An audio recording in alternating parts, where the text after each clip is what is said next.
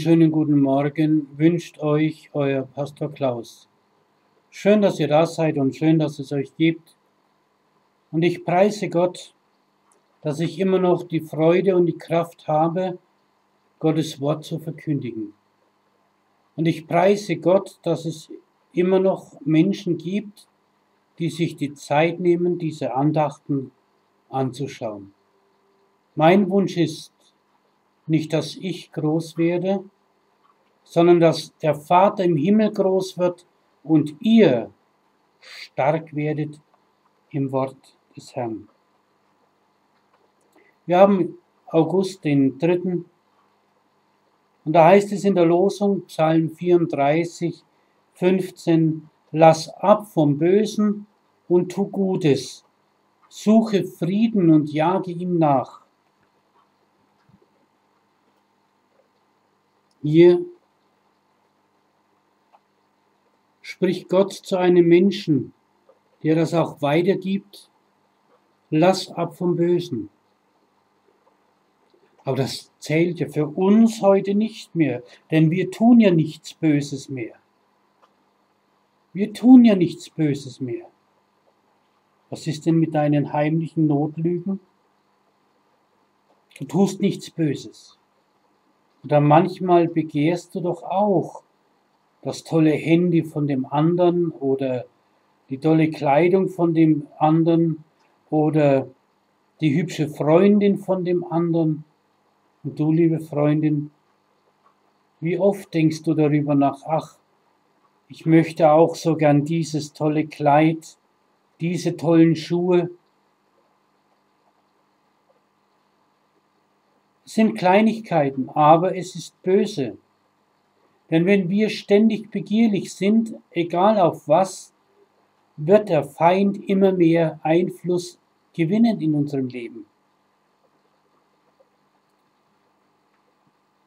Oder wie oft rutscht dir der Name Gottes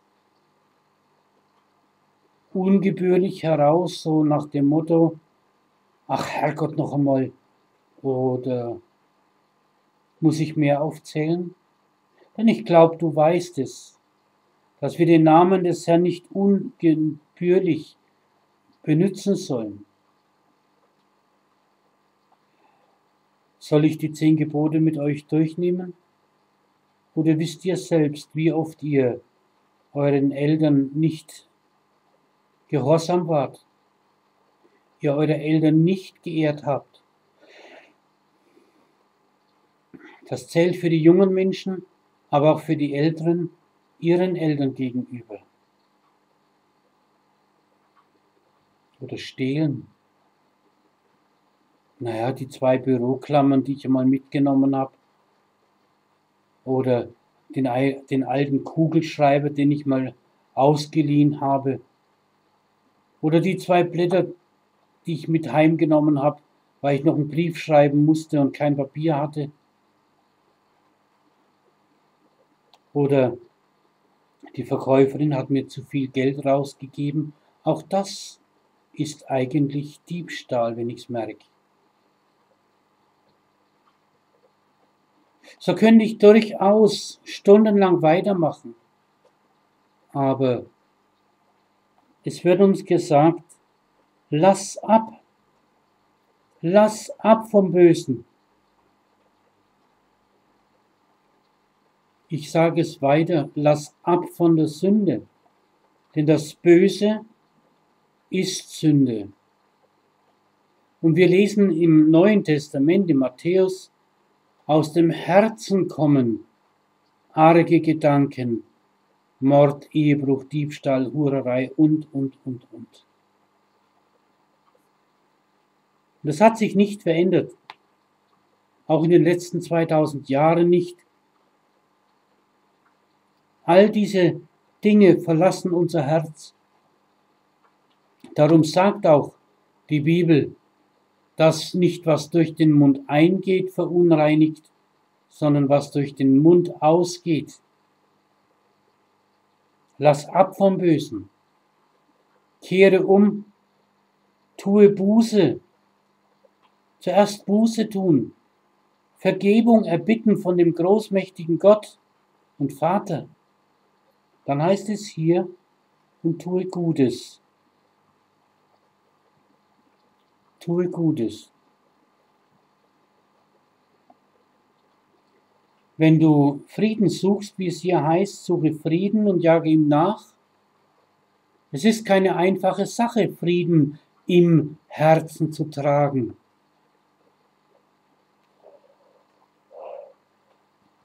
Es ist keine einfache Sache. Darum heißt es auch, jage ihm nach. Ja, Frieden zu bekommen im Herzen. Gott ist der Fürst des Friedens. Jage ihm nach. Wenn du Jeshua in deinem Herzen Wohnung gibst, kehrt Friede ein. Und wenn Jeshua die Regierung in unserem Herzen hat, dann lügen wir nicht mehr, dann stehlen wir nicht mehr. Und wenn wir es doch wieder tun, dann haben wir uns wohl getäuscht, dass Jeshua in uns lebt, oder wir haben ihm nicht die komplette Kontrolle über unser Leben gegeben.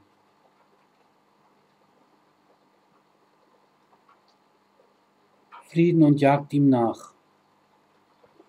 In der Lehrtext im 1. Petrus Kapitel 3, Vers 8, da heißt es, Seid alle eines Sinnes, voller Mitgefühl, liebt einander, übt Barmherzigkeit und seid demütig.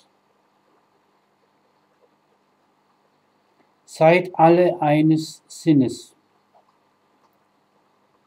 Damit ist natürlich nicht gemeint, dass wir auch wenn wir Böses tun, eines Sinnes sein sollen sondern immer dort, wo wir Gutes tun, wo wir Gott loben und preisen, wo wir Jeschua die Ehre geben, da sollen wir eines Sinnes sein. Ja, auch eines Sinnes im Bereich des Mitgefühls, Mitgefühls unserer Kranken und schwächeren Geschwister und Brüder und Schwestern. Eines Sinnes sein an der richtigen Stelle zu helfen, gemeinsam zu helfen. Nicht einfach sagen, naja, die machen schon, da kann ich mich zurück. Nein, du gehörst dazu. Dann heißt es, liebt einander. Ja, wie soll ich einander lieben? Ich kann doch nicht die Nachbarsfrau äh, lieben.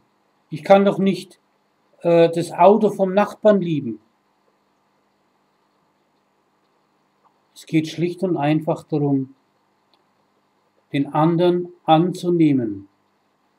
Diese Liebe, die Gott hier meint, bedeutet den anderen anzunehmen, wie er ist, nicht dauernd an ihm herummäkeln und rummeckern, ihm seine Ehre lassen, akzeptieren, dass er an manchen Dingen vielleicht mehr hat als ich, auch den armen Straßenobdachlosen, der ein bisschen stinkt, annehmen. Mitgefühl und in Liebe annehmen. Auch den Nachbarn, der nicht drauf schaut, dass sein Hund ständig in meinem Garten ist und seine Häufchen setzt und meine Kinder dann doppelt so viel stinken. Liebt einander, nehmt einander an, wie Christus uns angenommen hat. Übt Barmherzigkeit. Das ist also eine Sache, die oft keiner mehr kann. Und seid demütig. Demütig.